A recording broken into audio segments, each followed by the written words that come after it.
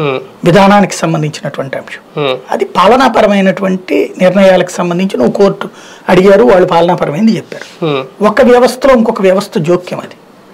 ప్రాక్టికల్గా ఎట్లాగో. అంటే పాలసీ డెసిషన్ అనేది ప్రభుత్వం తీసుకోవాలి. అది రాజ్యాంగ విరుద్ధమైతే డెబ్బై ఏళ్ళ నుంచి ఎందుకుంది ఇంతవరకు ఉన్నటువంటి జడ్జిలందరికీ తెలియలేదా? చేతకాలేదా? Hmm. ఆలోచించలేదా? అంటే డెబ్బై ఏళ్ళ దాకా అట్లా ఉంది డెబ్బై ఐదేళ్ళ పాటు. రాజ్యాంగానికి ఓకే నెక్స్ట్. ఇప్పుడున్నటువంటి వాళ్ళు వదిలేయడం. ఒక నక్సలైట్ మీద ఏ సెక్షన్ పెట్టాలా? ఏమైనా కొత్త సెక్షన్ రాయాలా. నక్సలైట్ అంటే సపరేట్ దేశభక్తుడు కొంచెం మంచిగా పెట్టాలని?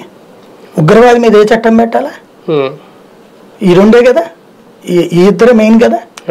ఇప్పుడు కాశ్మీరీ చొరబాటుదారుడు ఉన్నాడు. కాశ్మీర్ పేరుతో స్వతంత్ర సమయోధుడు అని చెప్పుకుంటాడు. వాడు. వాడికి ఏ సెక్షన్ పెట్టాలా? మామూలుగా అయితే కనుక ఆర్మ్స్ యాక్ట్ పెడతారు.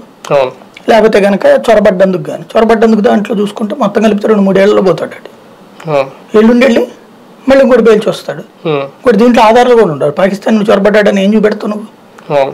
ఫస్ట్ ప్రాక్టికల్గా ఉగ్రవాది. ఏ ఆధారం ఉండదు. వాడు చక్కగా ఏదో మెకానిక్ గాని పని చేస్తుంటాడు. అవును, అంతే ఎలక్ట్రీషియన్ కదా. పని చేస్తుంటాడు ఉమ్, తెలీదు. ఎవ- ఏంటనేది వాడు విధ్వంసాలు సృష్టించినటువంటి వాడు.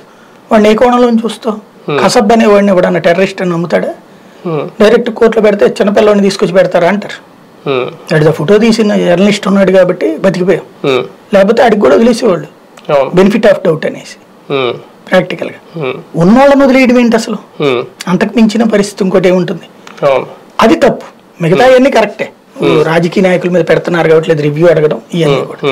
దాన్ని గొప్ప శక్తి కింద మనం చూపెడుతున్నాం.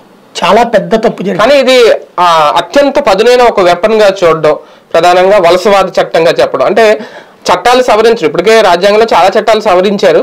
చట్టాలు రూపొందించడం ఒకవేళ నిజంగా వన్ ట్వంటీ ఫోర్ అనేది కనుక రద్దు చేసేస్తే కంప్లీట్గా ఈ ఈ